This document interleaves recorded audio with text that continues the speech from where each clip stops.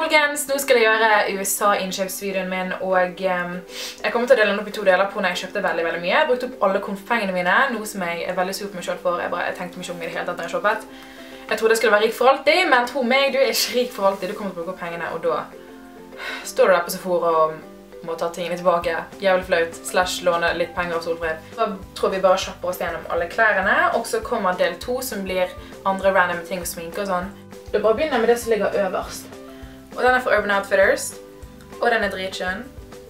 Også fra Urban Outfitters. Den har jeg faktisk ikke brukt ennå. Er denne her.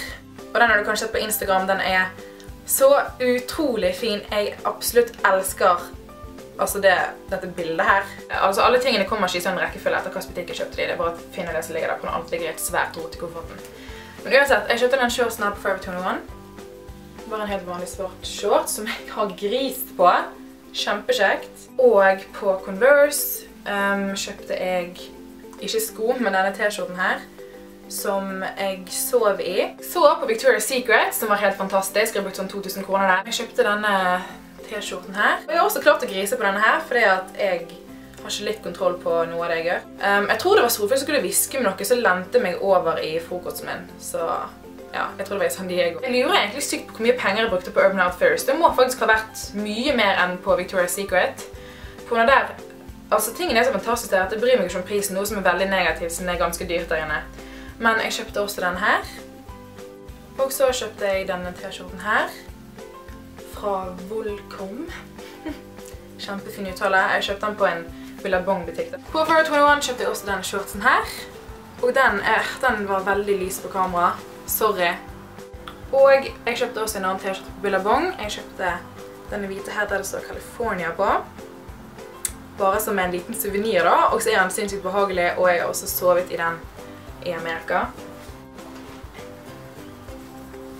På Disneyland kjøpte jeg en Mickey Mouse-genser, og denne her er dritskjønn. Jeg elsker den, og så faktisk ganske bra på kamera også. På Disneyland kjøpte jeg også en annen genser, og disse genserne var dyre, så jeg skjønner ikke hvorfor jeg gadd å kjøpe det engang. Jeg tror det var fordi det var litt kaldt. Det var faktisk ikke så varmt i Los Angeles, men altså Las Vegas, der var det sånn, det føltes umenneskelig. Som du tenker, er denne er dette stedet egentlig beboelig? Det er så jævlig varmt der. Men anyway, jeg kjøpte den her også i Disneyland i Los Angeles. På Victoria's Secret kjøpte jeg også make um, genser i, eller t-skjorte i grå. Og den brukte jeg evig mye. Og jeg vet ikke hvorfor jeg bare elsket den, men den var den satt perfekt og ja, digget den. Vi var på et sånt outlet, og der gikk vi selvfølgelig inn på Nike, der det var helt stappfullt med folk. Og det var faktisk ikke så veldig bra utvalg, men jeg fant denne sportsbøen her. Jeg fant også denne her. Nei, denne fant jeg ikke på outlet, jeg fant denne her i en Nike-butikk faktisk. På outlet kjøpte jeg også denne shortsen her fra Puma. På Victoria's Secret kjøpte jeg denne pink hettegenseren her. På Forever 21 kjøpte jeg denne genseren her. Og på Urban Outfitters kjøpte jeg denne trusen. Victoria's Secret. Denne trusen. Jeg kjøpte denne? Også på Victoria's Secret. Og også på Victoria's Secret kjøpte to av denne her. På Urban Outfitters fant jeg en short som jeg brukte sinnssykt mye og ble utrolig glad i, og det er den her. Jeg tror grunnen til at jeg likte den så godt var fordi at han gikk over novell, og da kunne jeg gå med sånne her korte topper. For når jeg liker hvis jeg skal gå med sånne korte topper, så må jeg ha en shorts dekker navel, tenker jeg. Jeg synes det ser finest ut. Eller så ser det litt sånn early 2000-ish. Og på Forever 21 kjøpte jeg også denne her lyseblå chillibuksen. På Urban Outfitters, once again, kjøpte jeg denne Donnerie-buksen her, og den dekker også over navel, så jeg synes dette her er den mest perfekte high-waisted buksen jeg noen gang har hatt i hele mitt liv. Han sitter, og han sitter så bra, og liksom her oppe og rundt lårene og leggene og alt. Jeg tror det eneste er at den er bitte litt for lang, så jeg kommer sikkert til å brette den opp helt på tuppene. Den har jeg også klart å grise på. Jeg tror jeg har banan på den, på når jeg Solfrid hadde en banankrig i San Diego. På Urban Outfitters kjøpte jeg også denne kjolen her. Once again, jeg ble forelsket i mønsteret.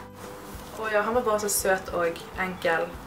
På Victoria's Secret kjøpte jeg også um, en BH, og jeg, kjøpte den her, og den er så vakker. Jeg tror det er sånn favoritt-BH jeg har hatt i hele mitt liv. Jeg kjøpte også en stoppløs BH på Victoria's Secret, og den, den sklir ikke ned i det hele tatt, så jeg er dritfornøyd med begge BH-ene egentlig. I Disneyland kjøpte jeg naturligvis denne her. Kanskje gå fra Disneyland ut og kjøpe den. Jeg vet ikke hvor godt dere kan se de resten av videoen, men meg og Solfrid gikk rundt med disse her. Og jeg tror jeg bare beholder den på, rett og slett. På Urban Outfitters kjøpte jeg også denne genseren her. Og den er så deilig i stoffet, men det er sånn jeg er sykt redd for å slite igjen og sånn på når den er så tynn og liksom så skjør. Og jeg har allerede ødelagt den litt, men jeg elsker denne genseren. På Urban Outfitters kjøpte jeg også, ok, dette her også er en helt perfekt shorts. Oh my god, den dekker også Navel, og den ser sånn ut. På Victoria's Secret kjøpte jeg også en bikini. Og den prøvde jeg ikke på, så den var for stor og ubehagelig og egentlig bare dårlig laget. Så ja, det støg litt. Jeg så ut at jeg overvurderte puppestørrelsen min litt, for denne passet ikke. Veldig trist. På Forever 21 kjøpte jeg også denne toppen her, og den likte jeg veldig godt å bruke med denne her eh, donnerishortsen jeg kjøpte fra Urban Outfitters. Det så fantastisk ut sammen. På Urban Outfitters kjøpte jeg også denne her. Og denne toppen også ser, den så faktisk mye bedre ut på enn det jeg trodde den kom til å gjøre. Og så var jeg inne på en butikk som heter Paya, og der kjøpte jeg denne svarte buksen. Og jeg var først på J. Crew, ikke sant? Og så ville jeg ha disse J. Crew Pixie Pants på når jeg hadde hørt så mye bra om de at de var sånn sykt behagelige svarte bukser. Så jeg kjøpte de, de var svindyr, og så fant jeg disse etterpå, og de kostet 14 dollar på Papaya, og så prøvde de på, og så satt de så sykt mye bedre enn Pixie Pants, og de var mye mer behagelige.